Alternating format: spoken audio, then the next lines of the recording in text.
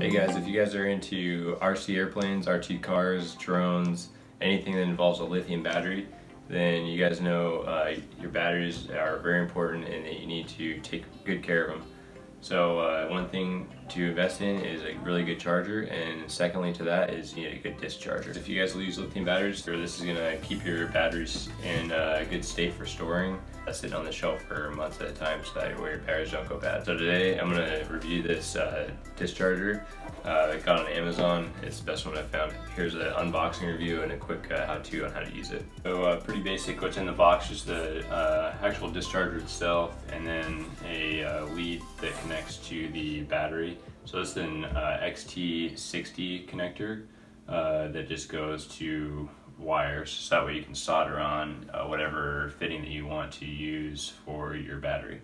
So there's you know T connectors, JST connectors, Traxxas connectors, some E-flite connectors, different things. Uh, so whatever your battery that you're, going to use uh, is what you want to connect on there. So uh, I use this uh, Dynamite Prophet Sport Duo charger, and so I have uh, leads that have these four millimeter banana connectors on the end. Uh, I got the JST connectors, and I got the E-flite board for some two cell batteries.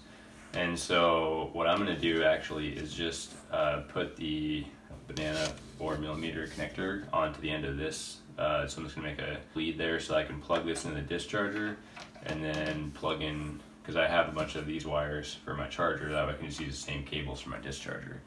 Um, so that way I have less leads laying around. I'll just have one uh, universal one that goes into here, and then I'll just have these ones that I can swap between my charger and my discharger.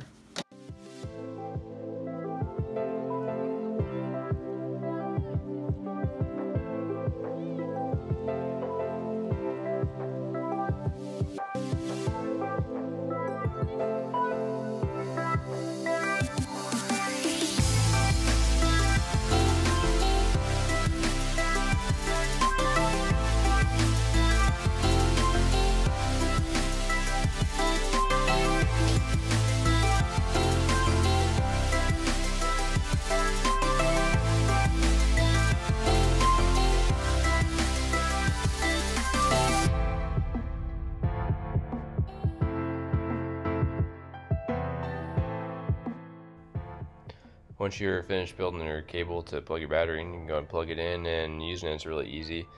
Uh, just one single knob uh, to control it, just push it once, turn it on, and then uh, push it once to get between the different selections there.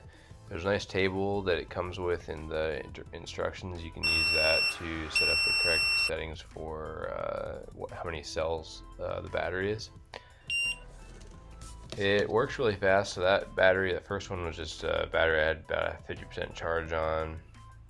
Uh, and then this other one is uh, one I had a full charge on. Uh, with this one, it was a battery that I took the plane out and crashed it. So I had a full battery and I don't have a way to use it. And so I need to uh, discharge the battery so it's not sitting around. And uh, after you know about three days of the battery sitting, uh, it, it'll it'll ruin the battery. It'll start to puff up and you'll uh, lose uh, a lot of life out of the battery. So it's really important to make sure you bring the uh, voltage in each cell down to around 3.2 uh, volts per cell. Uh, now that I have that nice connector, I can just uh, plug in any of my other cables and do it to all my other batteries and make sure they're all at the right voltage so that way they're okay for storage thank you guys for watching. If you guys like RC videos, uh, make sure to hit that subscribe button, hit that thumbs up if you guys like these videos. It really helps me out. Uh, thanks again.